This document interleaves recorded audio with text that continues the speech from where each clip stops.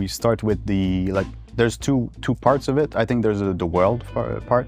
Uh, by making it smaller, we were also more focused, uh, and that was uh, in our approach to the um, layouts, number of locations, where you should go, uh, and how far you're going to travel. So you're not going to go into space. You're not going to go into the mountains with snow. Uh, you're in the desert. There's one city. There's a couple of villages around, but it groups everything together and it focuses a lot your attention for narrative and for the world. And on a progression, it's a little bit the same thing. Uh, so you kind of remove the stats or what was uh, uh a little bit less uh, the player choices and make it more every choice should matter a little bit more. So you, every, every skill you pick uh, becomes one new skill you add except instead of having uh, micro parts of progression everywhere. Uh, the challenges, especially for density, because it's more the cities uh, thing that is the real challenge. Uh, because it's so dense, uh, you need to take a lot more the consoles or the graphical aspect and animation aspect into account. So you want to have a denser crowd, because otherwise it wouldn't make sense. If it was empty, it wouldn't make sense. Uh, you want to have a, a, city that is varied enough so that you can orient yourself, you can find yourself, but it needs to, and that why it needs to be big, but it needs to be uh, still uh, organized enough that you can uh, find your way back. Uh, when you're in the openness or the vastness, it's a little bit more free form because you don't care as much for the characters, for example. You don't need crowd uh, in the deserts. Um, uh, and those were the opportunities when we were going outside of the Baghdad was to give, change a little bit the rhythm. So you've been in a dense city, bustling, uh, people are calling guards if you do uh, illegal actions, and then you go outside in your camel, you ride in the desert, and you're just like free again. Okay, I'm free, I will take my time, uh, enjoy the scenery, uh, do one objective, collect a chest, and then you come back to the city, again, big objective, big missions. So it was a good way of uh, keeping both uh, the old version uh, in the old AC where it was only city, and the new where you were sometimes just crossing a vast field and enjoying it. So you need to assassinate and kill the Order of Ancients. Um, you've got a side contract which is helping your friends along the way or other factions that need you. Uh, and if you're exploring the city, you can always progress your assassin because you're going to still find your gear, you're going to still find the outfits, uh, the resources you need in order to uh, build them up or upgrade them with the blacksmiths, the tailors.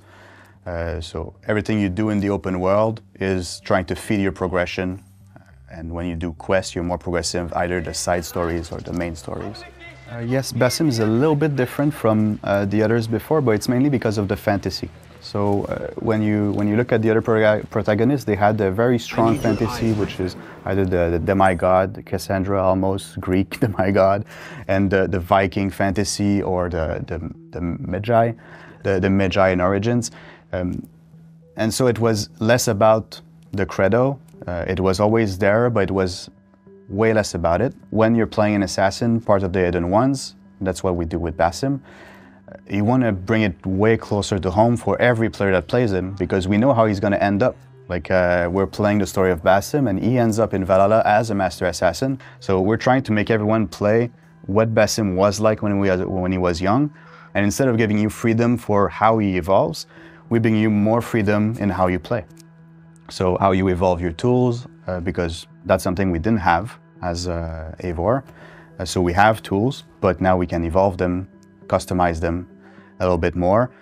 Uh, we do the same with the perks for the outfits. So uh, he can have his uh, outfit, he can taint his uh, the color of his of his shirt. he can upgrade them to have better perks, um, but he's not like he's not changing. Like he's, a, he's always going to end up as the master assassin. Well, we we yeah we knew Basim. We had a good 15, 20 years we could create. There's some allusions to what he did in the past in some of the, in Valhalla, but it's very uh, small. So as long as we fit in the character where he end up, it was, uh, uh, yes, a blank page for this. Uh, and we knew he was coming from Baghdad, for example. Uh, and we knew his father was from Samarra. Uh, so it was already parts of the backstory we could bring in, but it was not as we, we, we, were free to assassinate any target we wanted, basically. but when there was no challenge, it was also boring. So it was uh, finding the fine line between is it boring, is it challenging, uh, do you feel like you're really stalking on your prey? uh, and how can we make it more interesting? And we had all the ingredients, right? We had uh, the hiding spots, we had the benches. That, that was part of the fantasy to hide in the crowd, and we could bring it back because of the tailing. So uh, all, all these are connected. Like you want to hide in the crowd, if you don't have anyone to hide from, it doesn't matter. So by having a tailing, it made sense.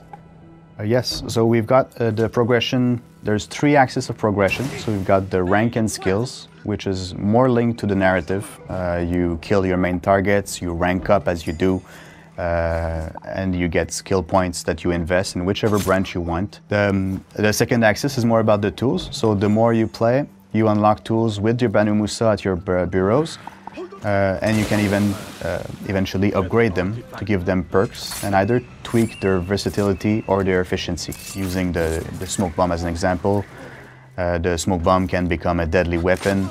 At the beginning it's not, it's just a vanishing tool. Eventually can become a deadly weapon as well. So it can give you more versatility in their usage.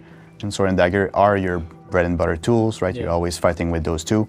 But again, you can find new swords, new daggers, which have different perks. So if you prefer being stealthy doing assassinations or being stealthy throwing knives uh, or regenning your stamina so be able to fight longer, you can uh, by changing your gear. Well, it was one of the pillars, so like the three gameplay pillars, stealth, parkour, assassination. And one of the feeling of parkour comes from, uh, especially in Assassin's Creed, but it comes from feeling cool doing something. Uh, and for this, uh, it needs to flow. The, the flow is really important. If you're stuck all the time, it doesn't work. Uh, if, you're, if you feel like you're trying to climb everywhere and it never works, it doesn't work either. So um, so the paths, for example, when you want to go from one location to another or from one objective to another, there will often be one path, multiple paths going to that place.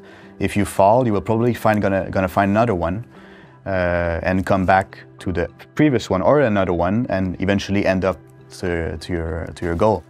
This parkour experience was designed with the rooftops as your playground, especially if you're wanted eventually, though, there's gonna be people on the roofs. But, so don't get wanted, and the roof is your, is your playground. Uh, it's clearly a challenge uh, because it requires a clear visual language. We want the player to feel rewarded for climbing and for finding the path and finding the right way or one of the ways to climb. So we kept it to mostly the military fortifications where it's harder to climb because normally they wouldn't allow people climbing on their fortifications. But for the rest of the city, you're pretty much free to climb everywhere. So all the, all the small houses, even the palaces, you can pretty much climb everywhere. There's so many decorations or hangs that you could. So when you think you could, it will. The military, they don't want to, so you don't. So far in playtest, we don't have that many players that feel frustrated by the climbing they feel more like rewarded for finding their path and being happy to either scouting first with the Enkidu, finding the right path, and oh, it works. Yes, yeah. it does. From the moment we wanted to go uh, with the pillars uh, that was stealth parkour assassination and an homage to the 15 years, not only AC1, it was bringing back everything we could. So collective memory as a team is pretty strong in general. Uh, everyone has their own uh, memories of what they liked. And sometimes it's not always about going back to how it was done, but more about what were the feelings you were having at that time. Uh, so that's what we did. Um, so of course some of the ingredients come back, like in parkour, for example, the swing, uh, the corner swings, um, which weren't there for the past couple of ACs. In a density, it makes sense. Uh, we tried to improve a little bit how uh, the angles we could take so that it fits more with our design or our urbanism. Um, but we looked at what can we do differently. So the crossing pole came up. Like sometimes there's streets that are very uh, too wide and we want to find a way to cross them. And uh, we already have ropes, but walking on a rope is not the same thing as doing a cool parkour move about, uh, across, the, uh, across the street. So in terms of world design, what we wanted to do is bring the variety of locations to bring you across uh, all the different aspects of the society of Baghdad at the 9th century in, uh, in the Abbasid Caliphate. And that meant not only prisons and camps, it was also palaces uh, and places where there was way more positive than uh, the military part. So it's showing both sides or even multitude of sides uh, of Baghdad at that time.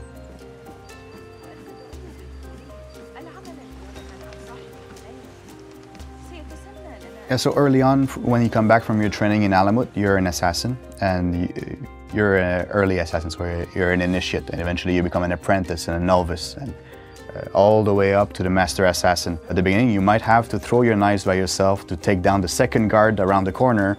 In the end, at one point, you unlock chain assassinations, and you can kill both at the same time. Um, at the beginning, you need to react very fast. If someone detects you and throw a knife at him or take him down, eventually you have the emergency aim that can help you uh, do that, and it reflects what Basim is doing. He's becoming better and better, and you as well as a player. It's a little bit the same thing with the tools.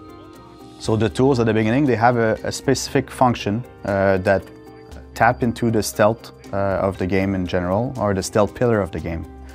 Uh, so the smoke bombs help you to vanish or to create a path where you're not being seen by AIs. The throwing, uh, throwing knife, they can kill someone, of course, they can destroy objects.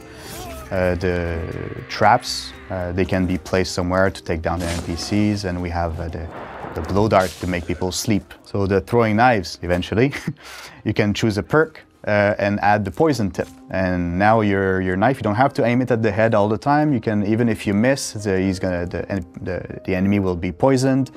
Uh, he's probably gonna die anyway.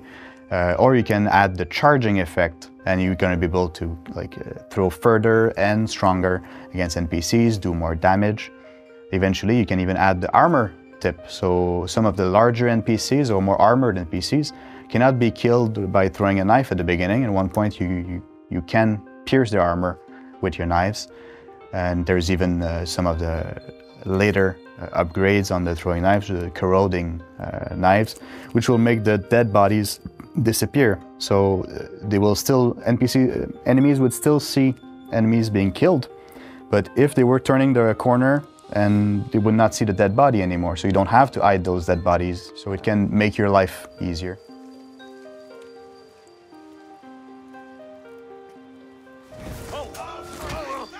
Uh, for the newer fans, uh, I, I think they will still find the same DNA of exploring a, a, a world, discovering location and its lore, uh, having, the, having it react to you, uh, that's still going to be there. Living the history is going to be there. Those feelings are always there.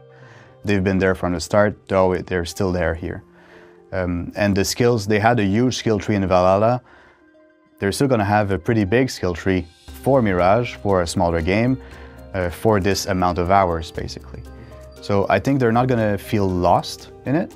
Um, they will feel maybe the it's a different take on the narrative part, especially that you're playing a, um, a character that exists rather than your own version of a character. Uh, but I think they will they will like it anyway. It's a it's a different experience, but it rings true to the same DNA vibes uh, that we had before.